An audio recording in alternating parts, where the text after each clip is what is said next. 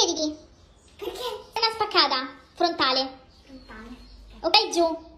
Vado giù. Ok, metti le mani dietro. Perfetto, adesso ti devi rialzare in qualche modo senza staccare le mani.